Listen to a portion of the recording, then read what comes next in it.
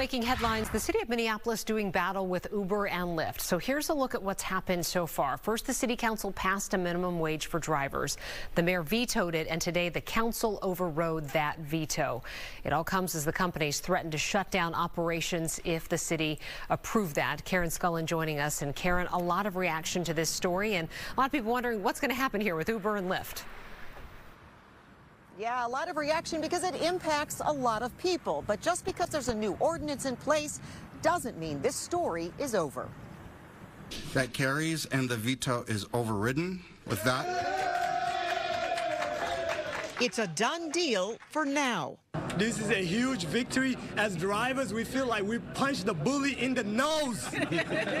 the Minneapolis City Council voting 10 to 3 to overturn Mayor Jacob Frey's veto of their ordinance to raise pay to minimum wage for Uber and Lyft drivers. City Council did what we were supposed to do today. We passed policy in response to the needs of our residents.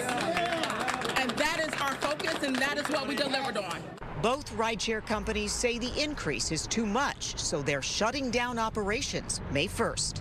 People that use rideshare service need to be prepared. Drivers that are employed through rideshare need to be prepared. This is not just about Minneapolis. I think there are repercussions to the entire region where our whole state needs to be prepared. Frey said state data showed the raises council came up with are unreasonable and there were better solutions that would have still included increased wages and benefits. We should be following what the data says not simply responding to the politics. Drivers at today's vote don't believe Uber and Lyft will actually pull out, and council members say if they do, there's a solution. There's a lot of industry that is occurring right here in the Twin Cities, so why would Lyft or Uber want to leave? Should they leave? We've been in touch by several rideshare um, businesses and startups that are more than happy to pay the city's minimum wage and fill the void uh, should they make that decision. Now, I've heard some people talk about getting a new rideshare company up and running. Uh, that is not a thing at the level of service that we need in this short period of time.